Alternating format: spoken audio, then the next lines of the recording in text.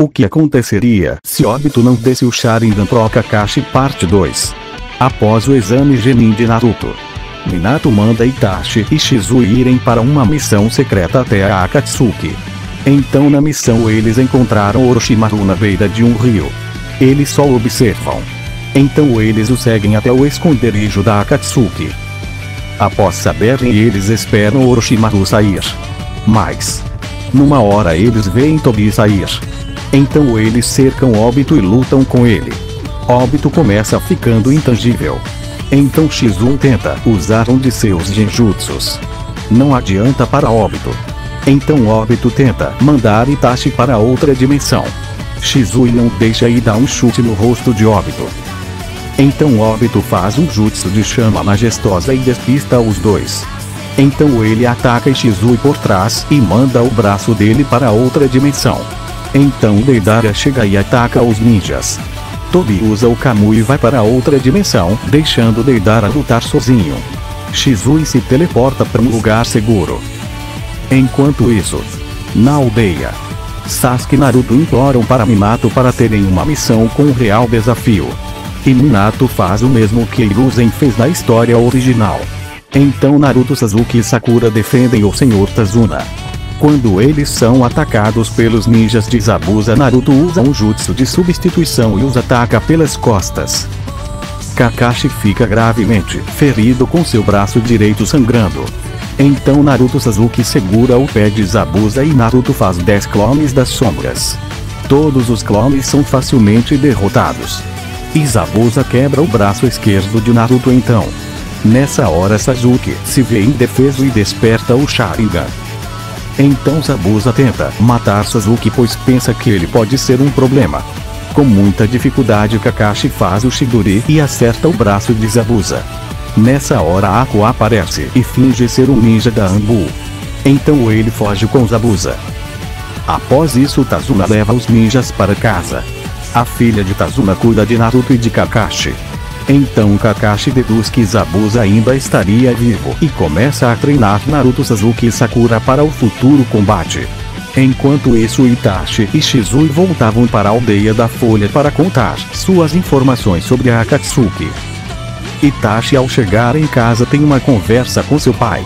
Fugaku diz que Itachi era um membro importante para o clã Uchiha e que ele precisava treinar o Sasuke. Então Itachi diz que o Sasuke ainda era uma criança e não deveria se preocupar tanto com lutar. Fugaku diz que Sasuke não é mais uma criança e que precisa melhorar muito. Então Itachi diz que não tem tanto tempo para treiná-lo. Mas diz que um dia treinará Sasuke melhor. Então ele vai conversar com o Kaji. Minato diz que Itachi e Shizui devem descansar um pouco que daqui a uma semana eles se preocupam com a Akatsuki. Pois Minato estava com medo de um contra-ataque da Akatsuki. Minato manda alguns ninjas da Anbula urgentemente atacarem a Akatsuki. Os Akatsukis fogem do local. Itachi e Shizui chegam o mais rápido possível. Mas Akatsuki já havia trocado seu local. Então Pain Kunan e Tobi têm uma conversa e se perguntam como eles descobriram a localização da Akatsuki. Então Pain observa melhor os membros da Akatsuki. Itachi e Shizui saem para comer ramen. Enquanto isso, Naruto Sasuke e Sakura treinam para subir numa árvore. Naruto usa sua enorme quantidade de chakra nos pés para subir. Sakura é a próxima a conseguir. Sasuke conseguir depois. Sasuke se pergunta como a Sakura conseguiu sendo que deles ela era mais fraca. Naruto diz que ela pode não ter força mais e uma pessoa com grandes habilidades com chakra. Então Naruto pede para o Sasuke lhe ensinar alguns jutsus de fogo. E Sasuke aceita com a condição de Naruto ensinar alguns jutsus de vento.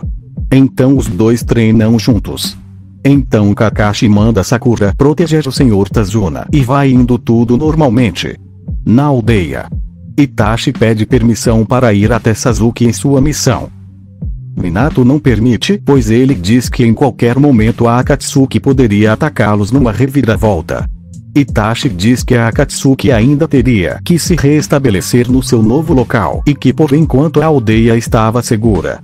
Minutos diz que está bem e manda Itachi voltar rápido. Itachi vai o mais rápido possível para o país das ondas. Então Naruto Sasuke e Kakashi vão até a ponte. Chegando lá se passam algumas horas. Então Itachi chega ao país das ondas. Ele vê seu irmão e vai falar com ele eles conversam por um tempo. Como Itachi não veste a nenhuma roupa de Angu ou carregava sua bandana Zabuza, não sabia que ele era um ninja da folha.